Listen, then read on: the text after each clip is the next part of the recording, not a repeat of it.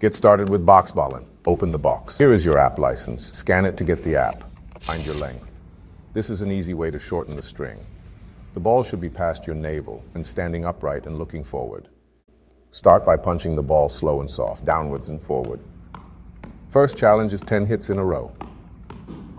Now extend your arms and punch harder. Find your preferred tempo. When you have full control, you can start moving around.